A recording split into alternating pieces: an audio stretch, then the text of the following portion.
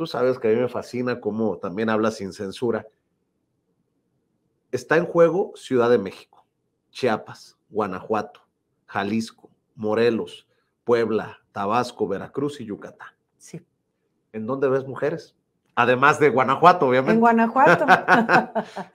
bueno, obviamente en Veracruz, Rocío. Nale va muy arriba.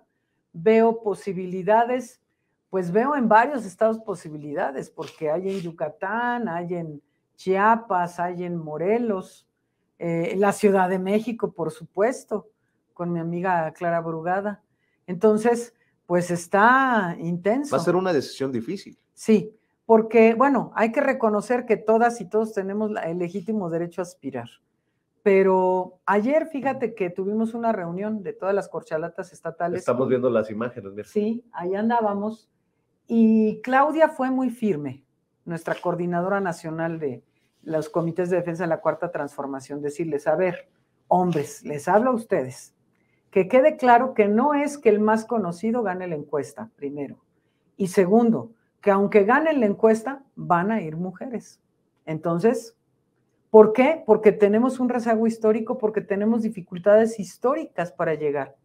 Mira, Vicente, a nosotras las mujeres que llegamos a un cargo como el que yo hoy tengo el privilegio de tener, siempre nos dicen de todo, porque siempre es la violencia que nos persigue, ¿no? Entonces, viejas locas, histéricas, porque somos contestatarias, porque nos defendemos por todo eso. Entonces, estamos locas, somos unas viejas histéricas y, bueno, muchas otras cosas. Pero es que a nosotras nos ha costado el triple de trabajo llegar que los hombres, el triple. O sea, para que una mujer pueda acceder a un cargo de elección popular, al cargo, más bien, por ejemplo, desde la candidatura, y luego llegar al cargo y ejercerlo en paz, híjole, está en chino. Y los hombres, pues nomás llegaron, ¿no? A ellos nadie les cuestiona. A las mujeres, ah, pues con quién se tuvo que acostar o qué tuvo que hacer o cómo. Siempre es la misma historia.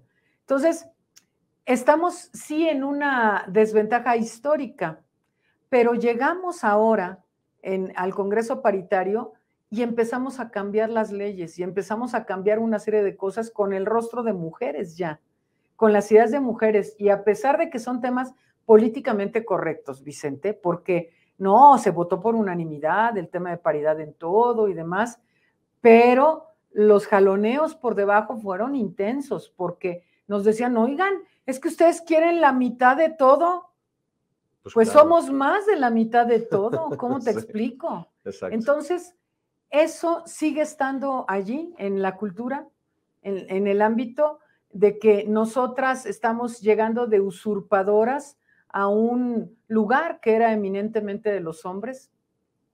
Pero lo dije la semana pasada que hicimos la sesión solemne de, de este 70 aniversario, dije, a ver, sí, estamos en un espacio que era solo de los hombres, pero no nos vamos, no nos vamos a ir.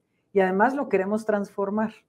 Queremos transformar ese espacio para que sea inclusivo. Es decir, nosotras somos el 52% de la población. ¿Cómo no vamos a estar eh, luchando por esto?